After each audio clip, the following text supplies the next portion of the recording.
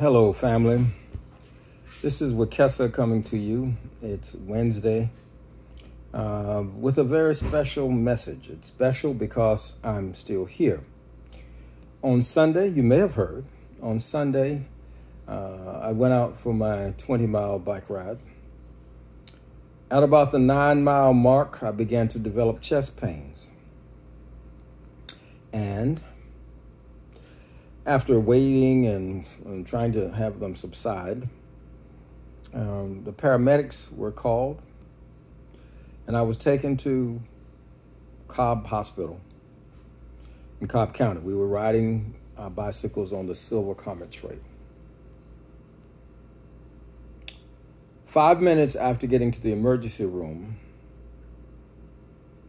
uh, it was clear that um, this pain was a result of um, some heart something because I blacked out. I was gone. All I remember was a dream when they woke me up. When I looked down at my feet, what I saw was a defibrillator. And that's when I said, hmm. Well, I was told that I went out again. And they applied the defibrillator for the second time. And then I was rushed to, and I remember this part, being rushed to the what's called the cath lab because there was a 100% blockage in my LAD artery. There are two arteries in your heart. And that was 100% blocked. And uh, they took me there to remove the blockage and fortunately or unfortunately, depending upon your perspective, to put in a stent. When I am then rolled to the room, that is the ICU, on Sunday, it's probably now about one o'clock, then that's when I begin to discover what has happened and what's been done to me. Fortunately, I had no pain. The chest pains I had uh, that when I was bicycling were no longer there. And again, these were never sharp pains, but they were pressing pains. That was no longer there. And I have felt I felt no pain then. And I've felt no pain since. Either from the operation or from the defibrillation that was necessary to bring me back after um, my heart had gone into fibrillation. That is, it's not pumping blood, it's just waggling like that. And so um, I am blessed that the ancestors and the Creator saw for, for me to um, come back three times and to be here with you to make this video. This happened on Sunday. On Monday, I asked to be dismissed. I chose to stay over for until Tuesday and told them that I was going home at two, on Tuesday. And um, that's with the doctor's permission or not. And um, and so I came home yesterday to continue my recovery. Now, to be sure, I'm recovering. And I'm also feeling good. Now, feeling good is relative. I'm not picking up anything over 10 pounds. But I'm in no pain. And I can walk around. Clearly, there's more work for me to do. There's more love for me to give. And more love for me to get. It is only by the grace of the Creator and the ancestors that I'm here. I know that.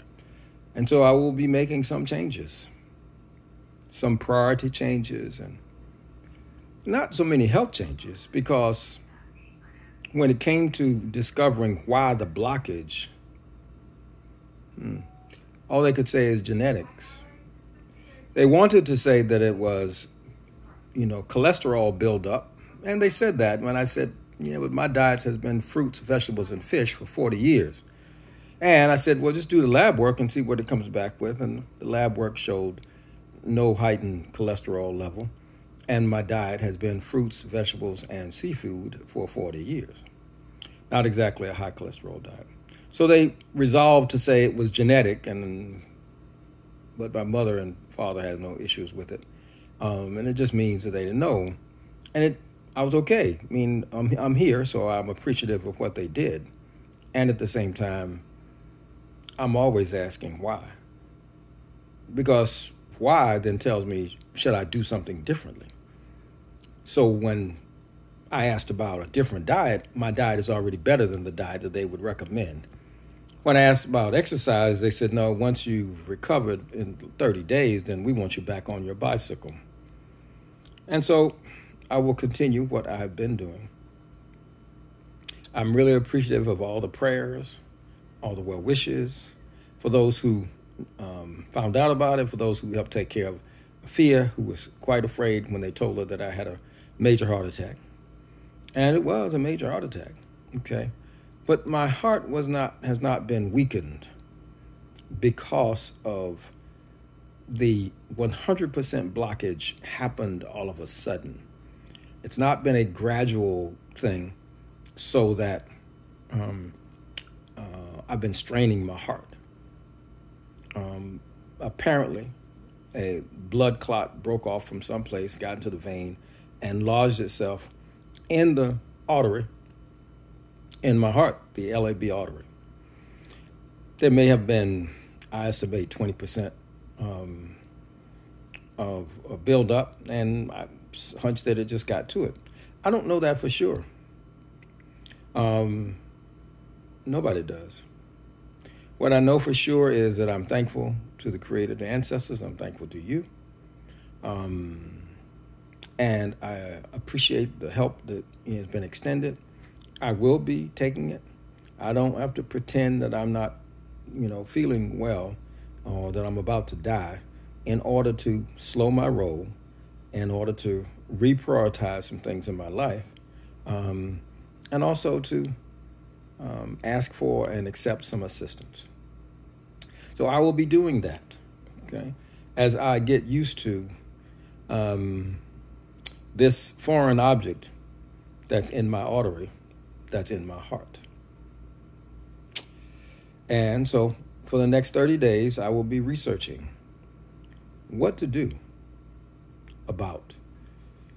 Mm, stents, how to get the body to not reject it without relying on Brilinta or Palax or whatever immunosuppressant um, drug. Because when I asked them how long I was going to take that, they said, well, one person said for the rest of your life, another person says for a year or two or something like, well, we will see. And, you know, if that turns out to be the case in terms of that's what my research shows, then um, I'm willing to do it. But I'm not willing to just do it without doing the research myself and, and, uh, and coming up with alternatives if, if I believe them. And, um, but, you know, for these 30 days, I have to train my immune system to accept its brother from another mother. That is this stent. And um, that's the key thing that I need to do. Um, and, you know, so I will, for the 30 days, follow the protocol. But because those 30 days I'm following, taking drugs that I do not like to take, and drugs that have side effects and that I think actually are toxic, I'm doubling my dose of black garlic. And we'll be getting sunshine starting tomorrow.